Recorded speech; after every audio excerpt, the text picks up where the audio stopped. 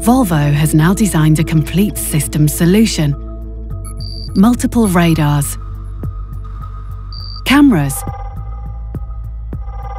a laser, and ultrasonic sensors monitor the complete 360 view of the surroundings.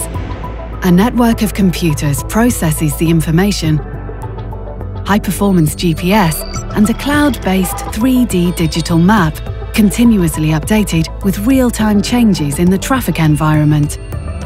If anything fails, there is a backup solution, just like in an aeroplane. This includes vital components such as computers, sensors, steering and brakes.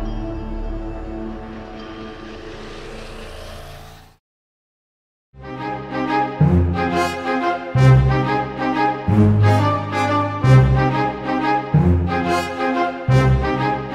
Thank